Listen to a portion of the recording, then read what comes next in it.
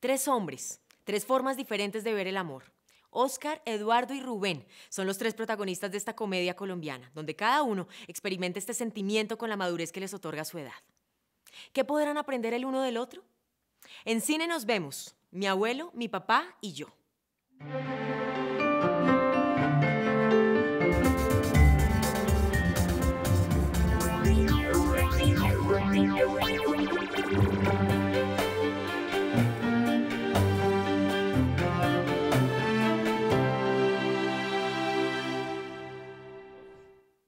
Con la frase en un cine cerca a su casa, cerraba el corto promocional de esta película del productor, guionista y director Dago García.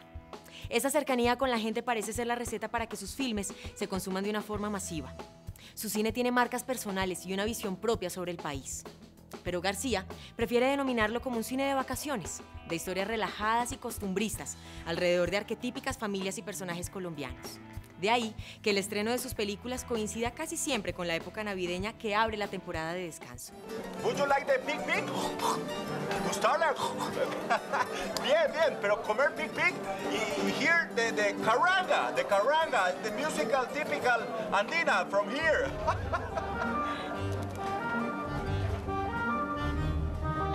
El cine de Dago García acostumbra a exaltar símbolos populares de la colombianidad como el fútbol, las imágenes religiosas, el paseo a la costa o el Renault 4 familiar. En Mi abuelo, mi papá y yo nos presenta lo que para él es una familia de clase media.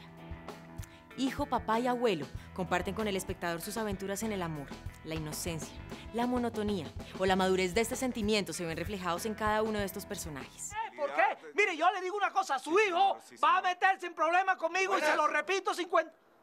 Mijo. Oscar, no corra que es peor. Oscar, no corra que es peor, mijo. Oscar, mijo. No corra que es peor. Aunque se trata de una comedia, el argumento llama también a lo sentimental. García suele hacer con sus películas esta mezcla que funciona como un recurso para conquistar al público, apelando a las emociones pero con un humor muy propio de los colombianos. Otro de los factores para la conexión con las historias de Dago García es la apariencia televisiva de sus películas.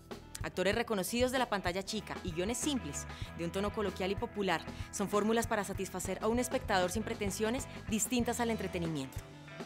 Esto es En Cine Nos Vemos. Déjenos saber su opinión sobre esta y todas nuestras películas a través de www.senalcolombia.tv y en nuestras redes sociales. Hasta la próxima.